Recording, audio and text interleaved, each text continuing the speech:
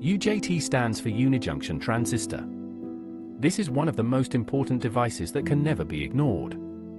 This is a three-terminal semiconductor device.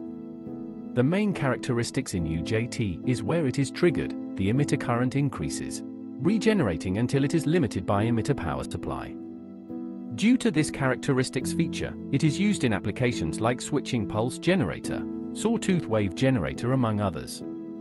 UJT construction consist of an N-type silicon semiconductor bar with an electrical terminals on each end. The terminals of these connections are called base terminals, B1 and B2. Near to base B2, a PN junction is formed between a P-type emitter terminal E. Since the device has three terminals and one PN junction, for the region this is called a unijunction transistor. The device has only PN junction, so it forms a diode. Because the two base leads are taken from section of the diode, hence the device is also called double base diode. Emitter is heavily doped, while the N-type is lightly doped. Thus, the resistance between base terminals is very high when emitter terminal is open. Operation of UJT. When emitter is forward biased, it allows for current flow in the circuit, while when the emitter is reversed biased, current does not flow. Under forward bias the holes from positive emitter moves towards the N-type. This facilitate current flow due to small or no depletion region. While under reverse bias electrons from the battery flow in reverse direction hence facilitating the holes to move towards the emitter, hence a large depletion region is formed between the N-type, hence facilitating the blockage of flow of current. Further, with emitter open, when voltage VBB is applied with emitter open, a potential gradient is established along the N-type silicon bar. As the emitter is located close to the base B2, thus a major part of VBB appears between the emitter and base B1. The voltage V1 between emitter and B1 establishes a reverse bias on the PN junction. And the emitter current is cut off, but a small leakage current flows from B2 to emitter due to minority charge carriers. Thus, the device is said to be in off state.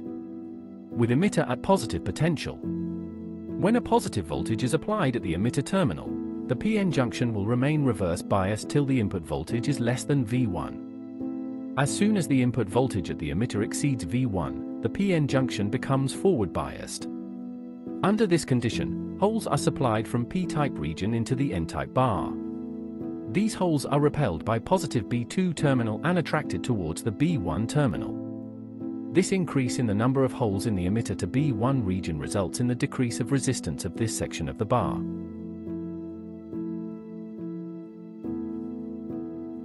Because of this, the internal voltage drop from emitter to B1 region is reduced. Thus the emitter current IE increases. As more holes are supplied, a condition of saturation is reached. At the point of saturation, the emitter current is limited by emitter power supply. Now, the device is conducting, hence is said to be in on state. Equivalent circuit. The resistance of silicon bar is called the interbase resistance, has a value from 4 kilo ohms to 10 kilo ohms. The resistance RB1 is the resistance of the bar between emitter and base region. The value of this is variable and depends upon the bias voltage across the PN junction. The resistance RB2 is the resistance of the bar between emitter and B2 region. The emitter PN junction is represented by a diode.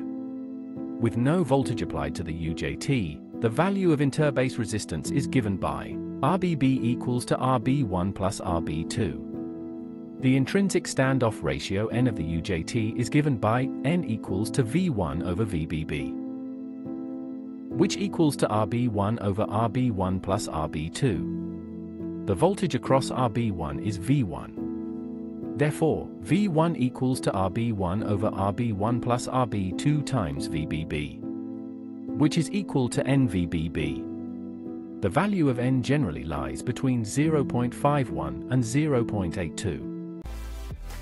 I hope you found this video informative, and if you did kindly subscribe, like and share. See you in the next one.